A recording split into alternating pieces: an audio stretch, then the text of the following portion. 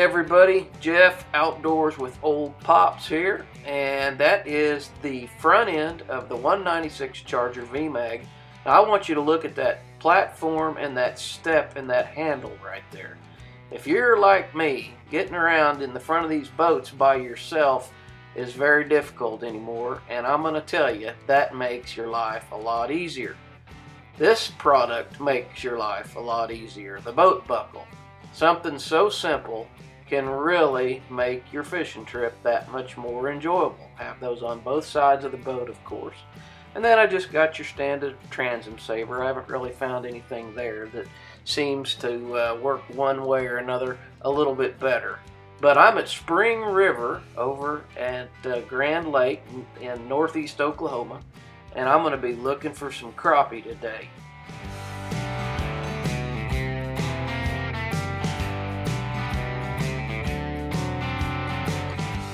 Now again, I'm telling you, being able to hop up on the platform, have a handrail right there where you can unhook your boat and then just push it off the trailer and get to where you know that once you put your boat in reverse, it's going to go is such a pleasure.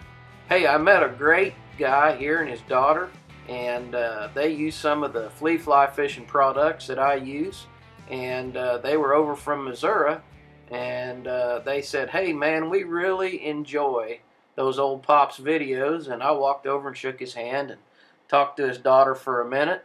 And that's one of the best things about being an outdoorsman and fishing is getting to meet people and showing folks how to be more successful in the outdoors. So um, say hi to your friends out there and help them when you can.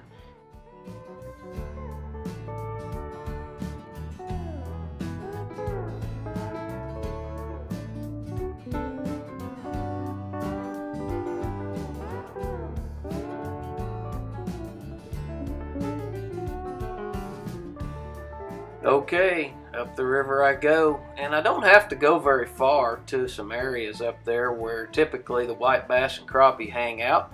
And I'm going to be looking for fish either with go-go minnows or crappie kickers today. And if I get into a situation where I need to cast, I will be throwing a go-go minnow, but I'll have the crappie kicker and the smelly smack sitting there waiting to go as well in case I get into some vertical fish. So you never know up here what the activity level of the fish will be, so you need to have two or three rods rigged up and ready to go.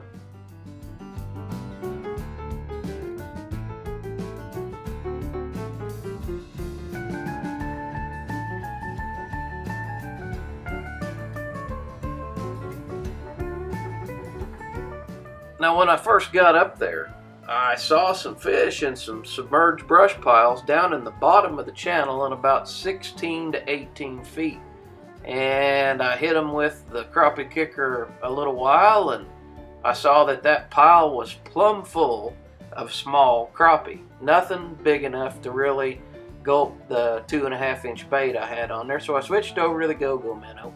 And I really like to just throw the go-go minnow when I'm up there if I can. But I tell you what, I had no luck casting.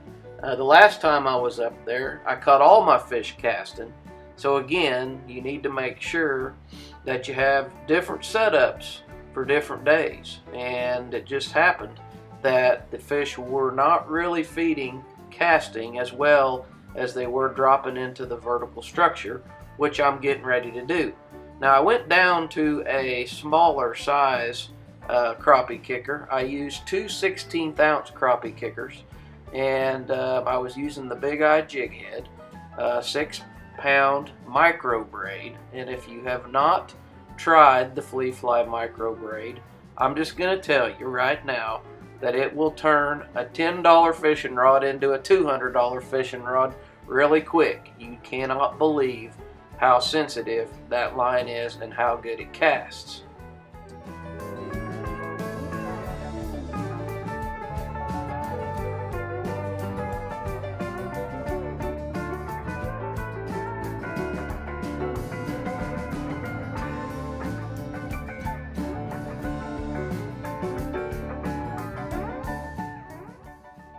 Alright, the first one's in the boat, and I'm reaching in to get my crappie gauge here in Oklahoma on Grand Lake. you have to have fish that are 10 inches long and there is only a 15 fish crappie per day limit. So I'm on my way. Let's look at the live scope a little bit and see what's happening down there.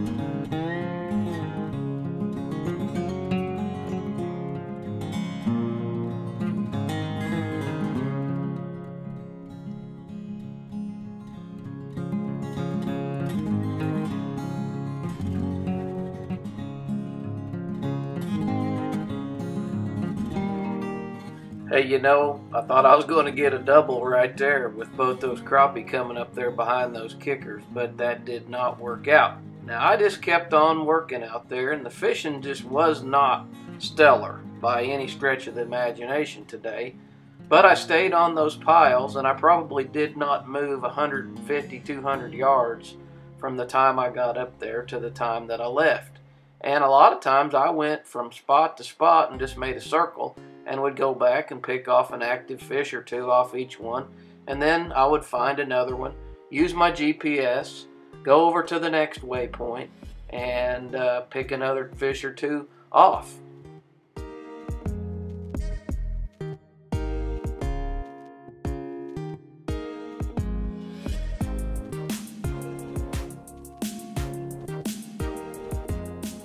So I just kept on fishing and man, I tell you what, I got into some piles that were just full of this size crappie right here, which is absolutely wonderful. I mean, I don't want to catch those all day long, but golly, we sure want to see those small fish in the lake too, because that means we're going to have years to come of uh, really good crappie fishing here in Oklahoma.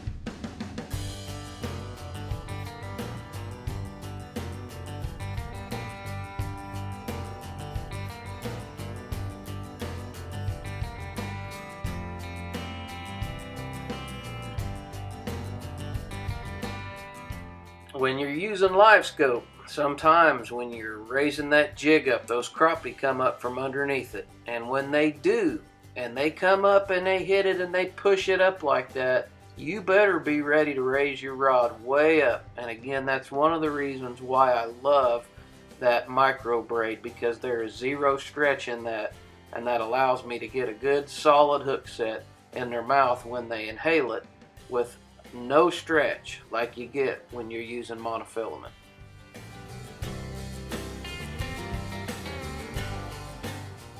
Well, that does it for me. I'm limited out. Thanks for getting in the boat, going fishing with me today.